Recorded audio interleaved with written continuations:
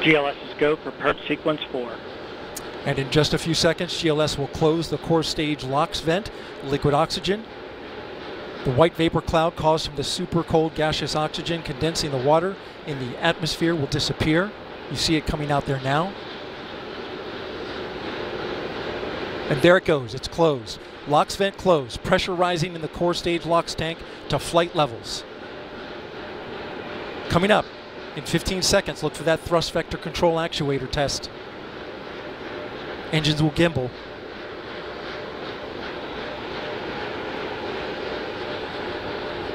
And there they go. The four core stage RS-25 engines gimbaling around, testing the ability to steer the rocket into space. They will operate at 109% performance. Each RS-25 throwing down a half million pounds of thrust. All four 2 million pounds. Altogether with the boosters, 8.8 million pounds of thrust. GLS is go for upper stage to internal power. Now the upper stage has gone to internal power. The Space Launch System is now counting down to liftoff of Orion on its maiden voyage to the moon. Launch team can no longer recycle the count. Sound suppressor water now flowing 15. under the ML. And here we go. 10. Hydrogen go burn-off igniters initiated. seven, six, five. Core stage engine start. Three, two, one. Boosters in ignition. And liftoff of Artemis 1. We rise together back to the moon and beyond.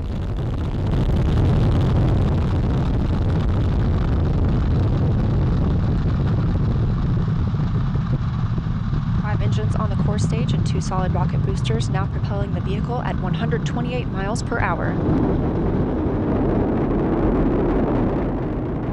Hearing good, con- good control on the roll from teams in Mission Control Houston. All good calls so far. Now 30 seconds into the flight of Artemis 1. First milestone will be for the vehicle to pass through max Q at about 1 minute and 9 seconds into launch. This is the greatest period of atmospheric force on the rocket.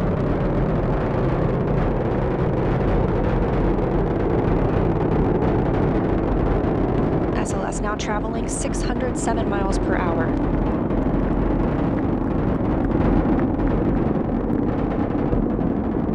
You're looking at 8.8 million pounds of maximum thrust. Quiet here in the loops in mission control. The four core stage engines are throttling down ahead of passing through max Q.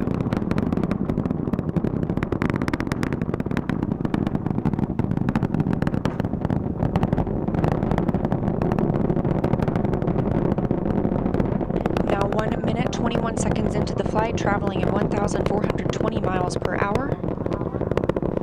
The four core stage engines are back at maximum thrust. The next major milestone will be for the solid rocket boosters to cut off and jettison at about 2 minutes and 11 seconds into the flight, so about 30 seconds from now. Again, quiet here in Mission Control Houston as teams continue monitoring the flight of Artemis 1. We're now 16 miles downrange from the launch pad at Kennedy Space Center, traveling over 2,800 miles per hour.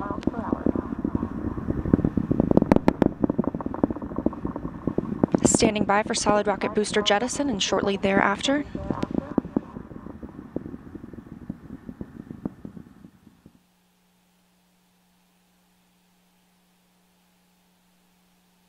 Confirmation that the solid rocket boosters have separated these 177 foot boosters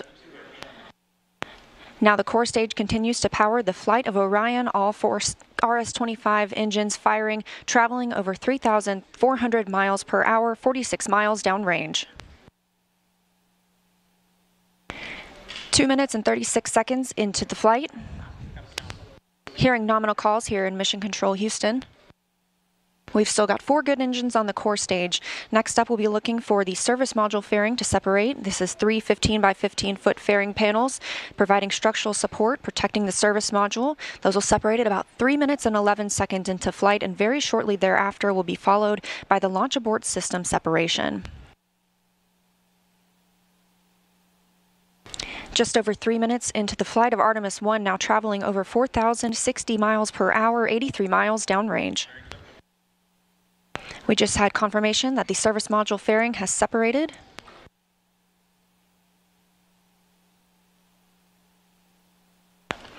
And that the launch abort system pyros have fired, separating those from Orion as well.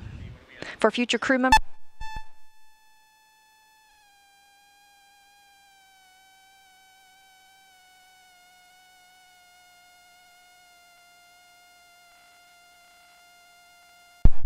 We just heard the call for three engine press, meaning if SLS were to lose an engine at this point in the mission, we could still achieve a nominal mission. We would just have an extended main engine cutoff time. However, we still have four good engines, all at maximum thrust right now, powering the first flight of Artemis at 5,200 miles per hour, 148 miles downrange.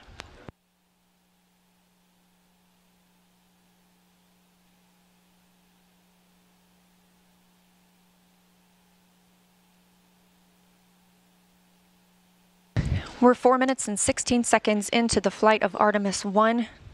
So far, we've had a clean ascent. We saw those solid rocket boosters jettison about 2 minutes and 11 seconds after liftoff. Shortly after, we had the service module panels fairings separate, as well as the launch abort system. The launch abort system was inert for this flight, except to perform this separation.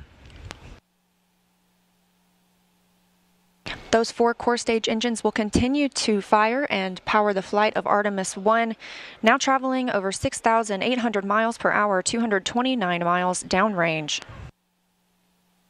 Booster flight controller reports that the engines are looking good.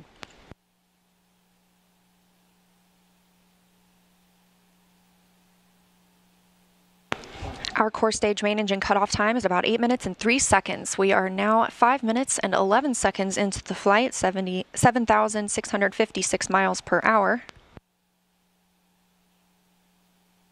Again, four good core stage engines, those four RS-25 engines.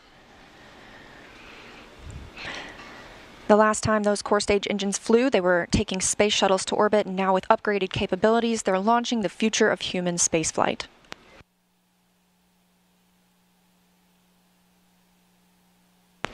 Five minutes, 42 seconds into the mission. We are now traveling 8,800 miles per hour, 345 miles downrange from the launch pad at Kennedy Space Center.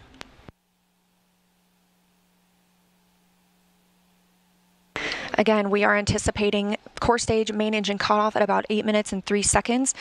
And about 10 seconds later, we'll see core stage separation, at which point Orion and the interim cryogenic propulsion stage will be flying free.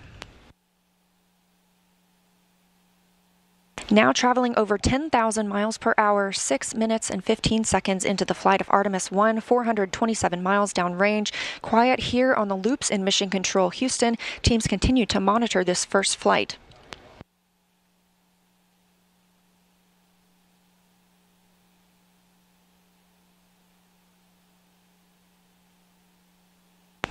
About a minute and a half now until that core stage main engine cutoff time. Our four core stage engines continue to fire maximum thrust.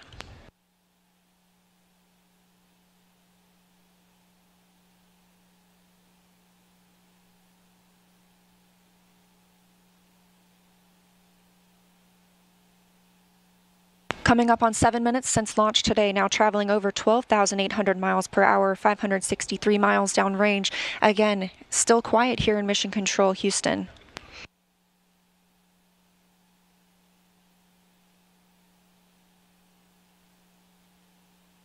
As we prepare for main engine cutoff, the four RS-25 engines are beginning to throttle down.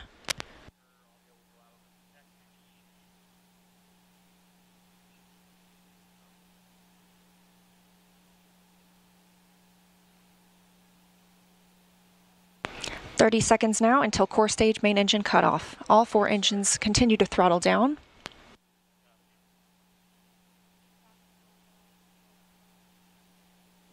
Now 7 minutes 45 seconds into the flight, traveling over 16,000 miles per hour. Continuing to hear good calls here in Mission Control Houston. We're standing by for core stage main engine cutoff.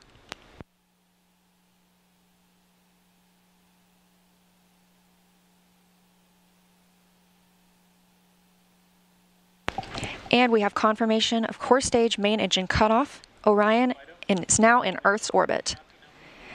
The flight dynamics officer reports that we have a nominal main engine cutoff. And we just heard the call for core stage separation. That means Orion and the interim cryogenic propulsion stage are now flying free from the core stage of the Space Launch System.